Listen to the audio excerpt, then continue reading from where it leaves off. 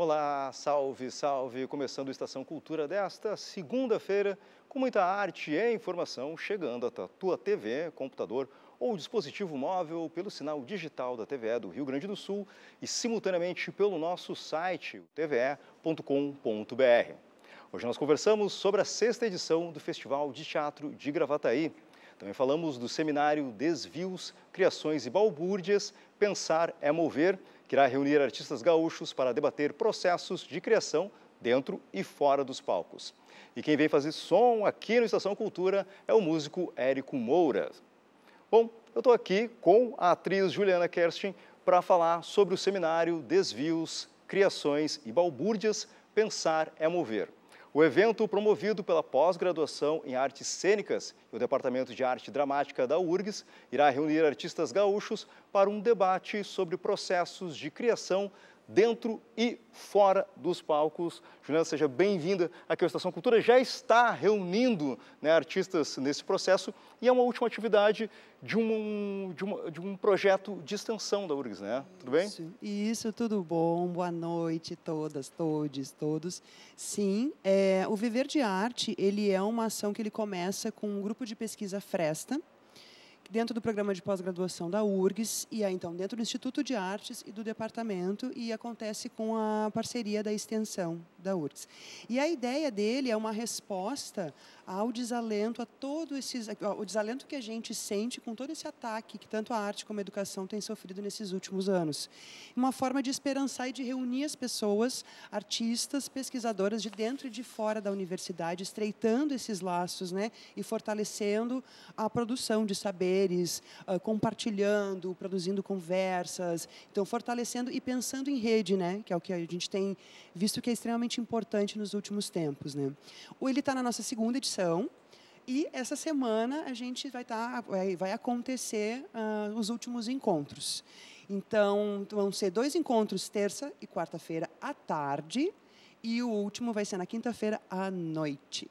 O que mais que eu posso te falar? Bom, esses encontros né, seguem nessa ideia, como tu bem disseste, né, de pensar que a, a universidade prepara o aluno muito na questão teórica, mas também nós temos que pensar nas questões práticas e como, como se transcorre, transcorre esse viver de arte, né? É bem nessa ideia, né? E como esses processos também transformam o entorno, né? E as pessoas são tocadas pela arte, né? Exato, e é mais uma provocação, né? Essa pergunta que dá nome ao evento é viver de arte. A gente não vai ter a resposta. A gente está lá para produzir as respostas e essa conexão com a universidade, ela é extremamente importante e tem muita potência porque tem sim esse excesso da teoria e muitas vezes as práticas que estão aqui no cotidiano vão passando. Então, é olhar para a prática e reconhecer ela como produção de conhecimento, né? sempre estreitando cada vez mais. Né?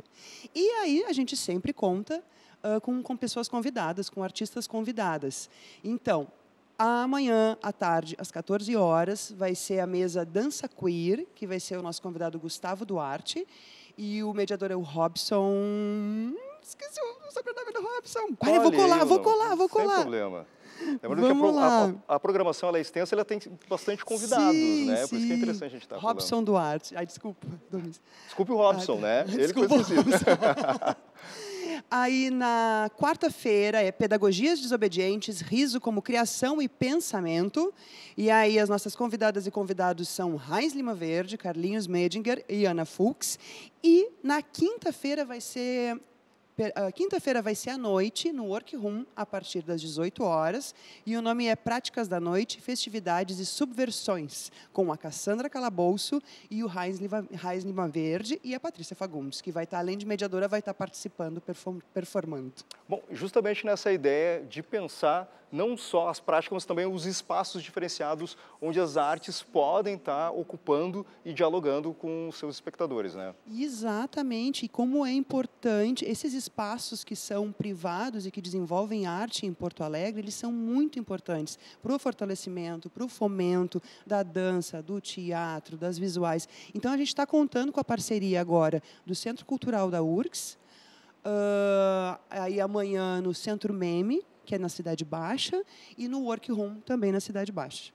Bom, quem pode participar? Só chegar, procurar a programação, a gente pode usar também o arroba uh, do projeto, né? Isso, muito bem lembrado.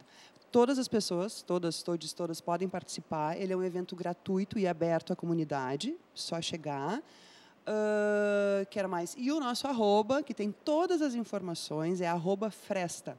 Lá no Instagram, botou arroba Fresta, vai aparecer o nosso login. Excelente. Então, desvios, criações e balbúrdias, pensar é mover até quinta-feira. Como a Juliana falou, no Centro Cultural da URGS, no MEME, Estação Cultural e no Workroom, com entrada franca, feito o convite a todos. Juliana, obrigado pela tua presença aí, parabéns pelo projeto e um abraço a todos e até a próxima, certo? Muitíssimo obrigada. Bom, a gente segue o Estação Cultura desta segunda-feira com a primeira participação do músico Érico Moura, que hoje está acompanhado pelo Jean Becker. Então, vamos de música.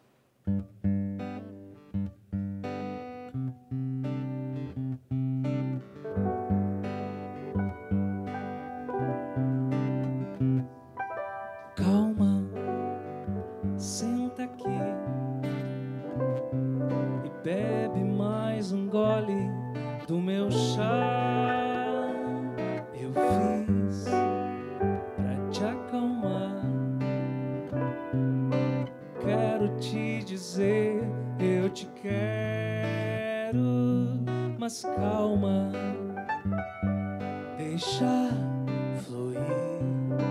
Quero te encontrar, nossa casa é o tempo, não adianta impor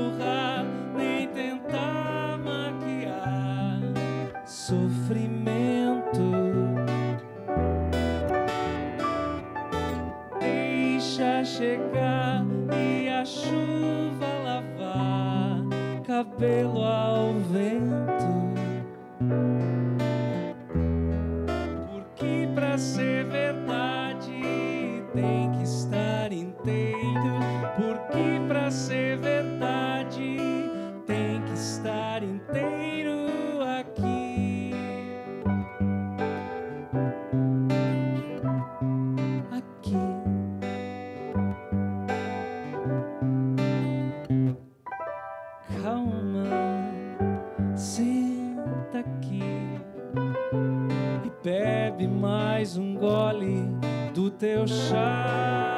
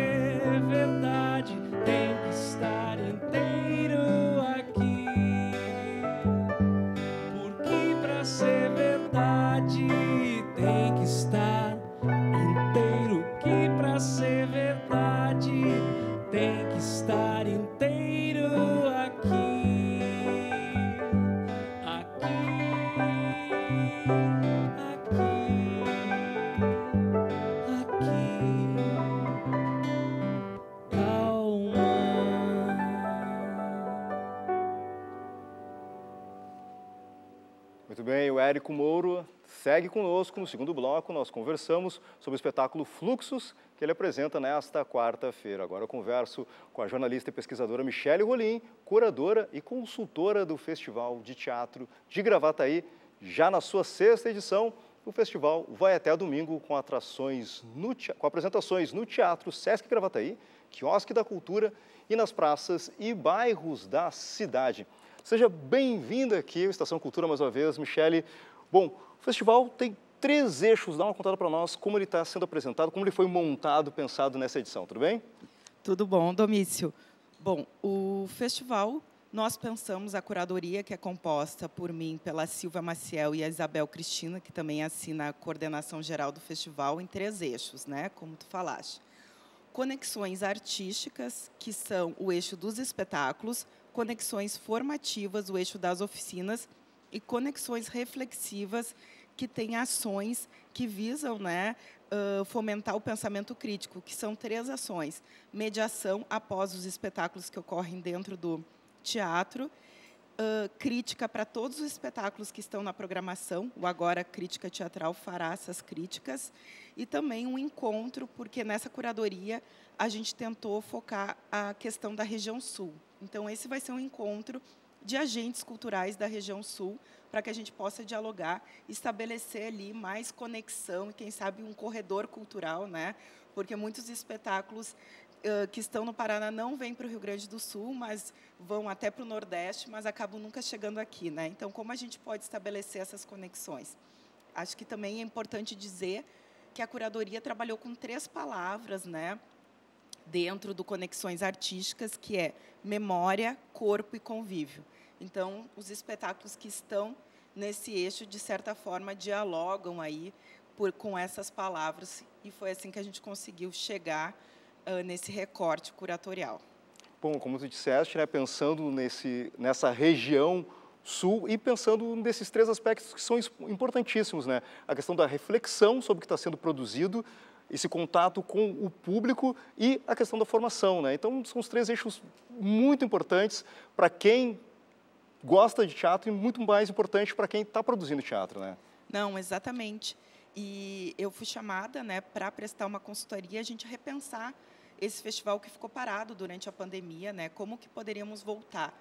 E eu acho que é importante dizer que o festival antes ele era competitivo, era um festival de teatro competitivo, e a gente vê muitos modelos assim no Rio Grande do Sul. E a gente optou, que eu acho que é uma mudança crucial, em não ser mais competitivo. Né? Então, se diminuiu o número de espetáculos, mas a gente apostou também nesses outros dois eixos reflexivos e, e também no eixo formativo para fortalecer né, o festival dessa maneira. Porque justamente quando a gente pensa uh, que a gente ainda tem, inclusive, uma dificuldade dentro de, da própria cidade, como uma cidade como Porto Alegre, quando a gente sai um pouquinho de Porto Alegre, a gente tem dificuldade justamente em uma formação de plateia, uma formação de público e muito mais uma reflexão desse público, né? Justamente nessa ideia também de que o, esse, o festival traga algo maior para a cidade do que simplesmente a exibição de espetáculos, né? É, eu acho que é importante tu, tu falaste isso, porque uma outra característica também desse festival é que a gente sai do teatro, né, da caixa, e vamos para as ruas e bairros, que isso não, não acontecia. Né? Então, agora a gente tem espetáculos também visando esse caráter de formação de plateia na rua, em alguns bairros também mais descentralizados de Gravataí, os espetáculos também ocorrem. E a gente buscou trazer uh, espetáculos. Nós temos do Paraná, Santa Catarina e Rio Grande do Sul, que é espetáculo de Gravataí, da cidade, Porto Alegre e algumas cidades do interior do Rio Grande do Sul para compor né, essa cena aí para o pessoal assistir e também reforçando esse caráter da região sul estar contemplada. Como as pessoas podem participar das oficinas, da parte também de reflexão e dos próprios espetáculos? É só chegar, tem, precisa credenciar antes? Como é que funciona? Olha, toda a programação ela é gratuita. Né? O festival é uma realização da Prefeitura de Gravataí com o SESC de Gravataí. Então, tanto as oficinas quanto os espetáculos são gratuitos. E toda é só chegar lá na hora, né? As oficinas sim, tu precisa fazer um pré-agendamento. Nós já começamos, uh, tivemos uma oficina que foi no dia 20 de novembro, né? Em homenagem à consciência negra e que era uma oficina que chamava-se Corpo Afro uh, Referenciado, que o Gessé Cruz que ministrou essa oficina. E, e só que as outras oficinas acontecem no decorrer agora da semana até o sábado. Então, tem muita coisa ainda para se inscrever e o público em geral pode entrar. Tem escolas que já se agendaram para estar uh, presente também no festival. Todas as informações ela está no arroba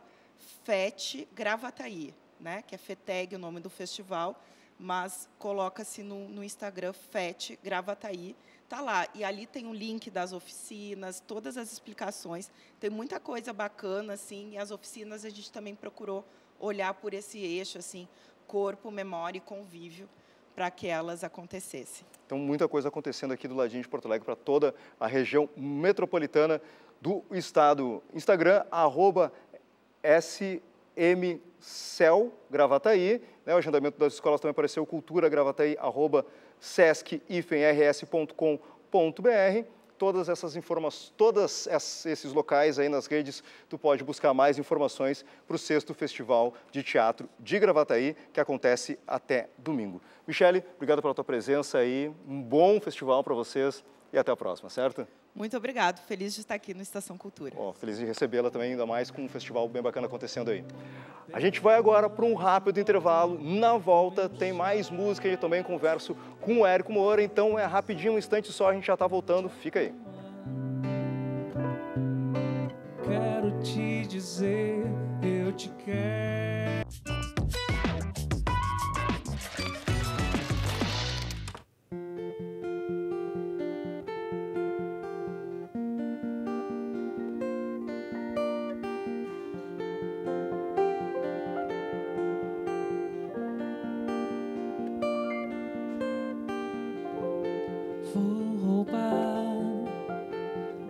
todos os teus bilhetes e costurar juntinho, firme na minha camisa e sair.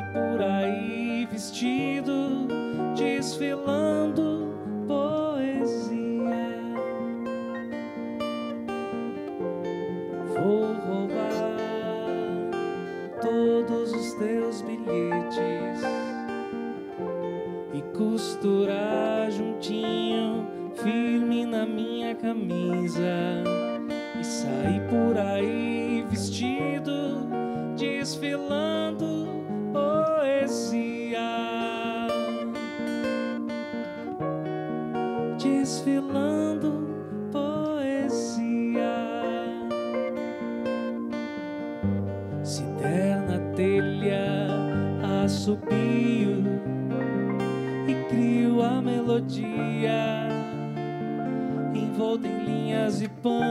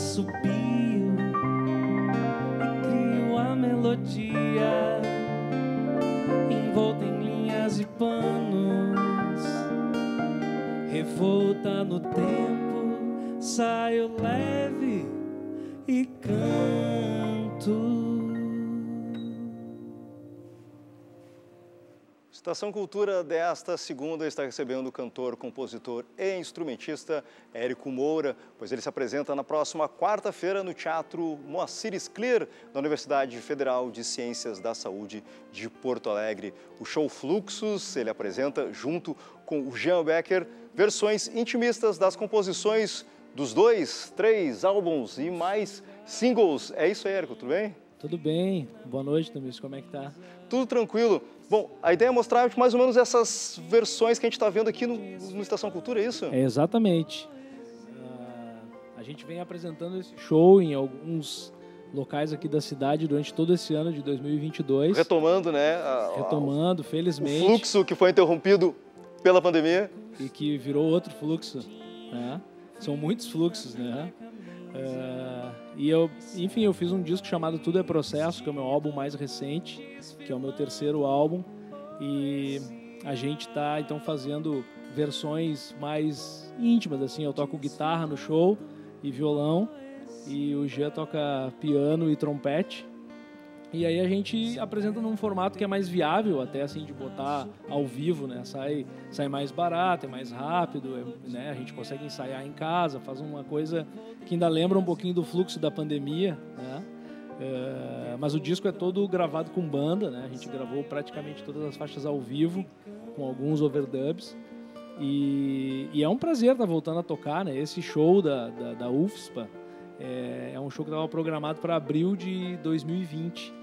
E junto com o show que eu fiz no Bruno Kiefer, que daí rolou já o ano passado, esse está rolando só agora, né? E é um imenso prazer poder retomar e diferente, né? Bem como a gente tem que fazer com a vida mesmo, né? Então, acho que as minhas canções são um pouco sobre o meu próprio processo, né? Já que tudo é processo e eu me foco mais no meu microcosmos assim mas falou o psiquiatra né pois é o pensador também né que pensa sobre as coisas e eu procuro pensar bastante e botar em prática assim o que dá né dentro do possível e cara tô muito feliz de poder voltar tocar no teatro né apresentar a gente tem uma, uma química muito boa Pois é, falando justamente desse encontro entre vocês, dessa química, apesar do disco, tá, das músicas produzidas, que estão, os, dois, os três discos, né, e mais alguns singles estão, e um clipe muito bacana também, está uh, disponível nas redes e nas plataformas. Também tem já algumas canções que são muito boas para fazer isso. Inclusive, esse single mais recente, Rosa, tem trompete, tem, está mais destacado algo que vocês estão fazendo em separado agora, né? É, é exatamente isso. Uh, a gente se conhece há uns seis anos e toca juntos desde então. Eu conheci ele num ensaio, né? eu vi ele ao vivo, aí a gente se falou por telefone e eu convidei ele para ir no ensaio e, cara, desde então a gente toca juntos. Já fizemos muitos shows. E eu, a primeira canção que eu apresentei aqui hoje, Calma, uma composição em parceria com o Jean e um outro amigo e parceiro, que é o Ricardo Barpe. Uh, e agora a última, depois que a gente conversar aqui, é que eu vou tocar é uma parceria só nossa. É a melodia dele e a letra é minha. Então a gente, cara, a gente, né, é muito, muito próximos assim, né? O que para mim é muito importante, né? É, e, e, essas, uh, esses instrumentos que vocês vão estar destacando, eles já têm destaque nas próprias melodias que estão ali, né? Apesar de ter o ritmo, o pulso da bateria, tem um destaque para essas melodias, para o piano, para o trompete, em outros também. É, tem, né? tem, tem momentos em que a gente valoriza o violão, valoriza o piano, o trompete, e tem momentos que a gente desconstrói, assim, né? E tem também muita valorização também para o que é escrito para a composição, né? Para as tuas letras é, também. Todo... São canções, né? Então é uma coisa que eu faço questão de, de dar o espaço devido, assim, já que é uma canção, né? Que tem palavras, eu procuro eh, valorizar isso também, né?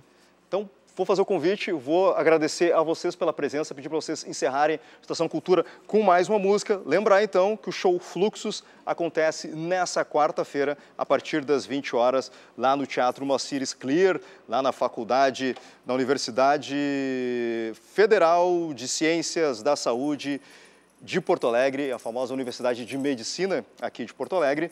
Uh, e também o pessoal pode ter contato com mais um pouco do trabalho do Érico Moura, achando ali, procurando no arroba Érico Moura, ponta, canta autor.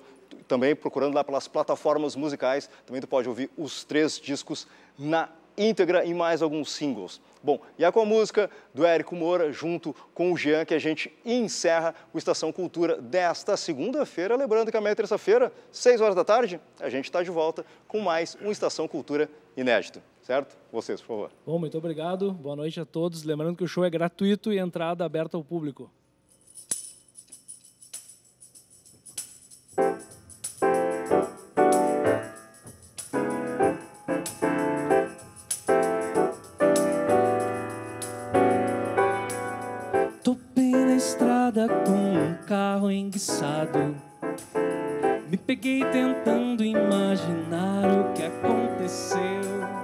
Chovia forte, a curva era fechada. Ainda bem que o sol apareceu para seguir a viagem da vida inteira. Com amor ao lado, rindo à toa de bobeira. Vamos seguir em frente nós somos passageiros dando a volta nas estrelas.